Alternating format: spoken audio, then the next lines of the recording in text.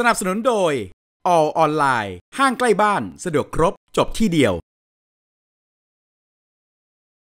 แต่ก็มีหลาย ๆ ประเทศนะคะ ที่พยายามจะเป็นกาวใจหรือว่าตัวกลางในการที่จะ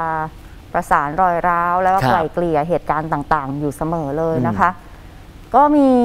ข่าวออกมาเกี่ยวกับการเปิดเผยจากโฆษกทำเนียบเครมลินค่ะว่าประธานาธิบดีปูตินของรัสเซียนั้น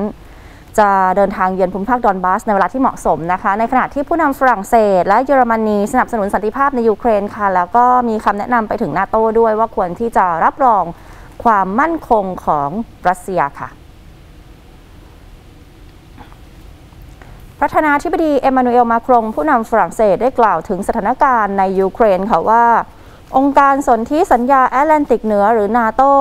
จะต้องจัดการกับข้อกังวลของรัสเซีย ที่นำไปสู่การปฏิบัติการทางทหารในยูเครน และควรเตรียมความพร้อม เรื่องการรองรับความมั่นคงของรัสเซียเมื่อความขัดแย้งยุติลง ที่ผ่านมาประธานาธิบดีมาครงได้พบหารือกับประธานาธิบดีวลาดิเมียร์ปูติน ผู้นำรัสเซียมาแล้วหลายครั้งนะคะ และในช่วงสัปดาห์ที่ผ่านมาผู้นำฝรั่งเศสเองก็ได้เดินทางไปเยือนสหรัฐด้วย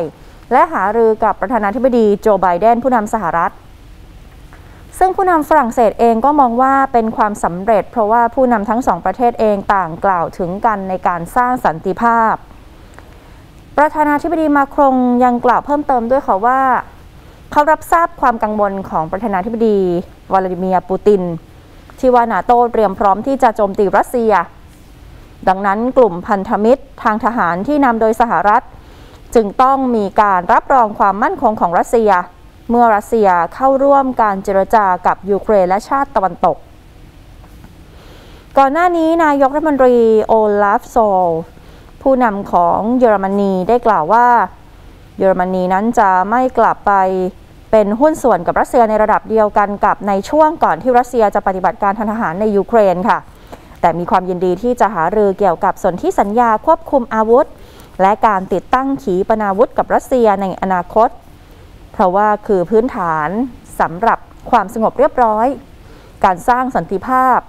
และความมั่นคงในยุโรปตั้งแต่สิ้นสุดสงครามเย็น ด้านนายเดิมิทรีเปสคอฟโฆษกทำเนียบเครมลินเปิดเผยว่า ประธานาธิบดีวลาดิเมียร์ปูติน ผู้นำรัสเซียจะเดินทางไปเยี่ยมกองทัพทหารของรัสเซียในภูมิภาคดอนบาส ในช่วงเวลาที่เหมาะสม เนื่องจากว่าเป็นภูมิภาคของสหพันธรัฐรัสเซีย ภูมิภาคดอนบาสนี่ก็อยู่ทางตะวันออกของยูเครนนะคะ ซึ่งรัสเซียก็ยึดครองบางพื้นที่มาได้ตั้งแต่ปี 2557 จนกระทั่งเดือนกันยายนที่ผ่านมานี้ รัสเซียได้จัดทำประชามติในการผนวก 4 ดินแดนเข้าเป็นส่วนหนึ่งของรัสเซีย ได้แก่ ดินแดนโดเนตส์ลูฮันซาปอริเซีย และเคอร์ซอน ซึ่งภูมิภาคนี้มีความสำคัญในเชิงกลยุทธ์ และเชิงสัญญลักษณ์ต่อรัสเซียค่ะ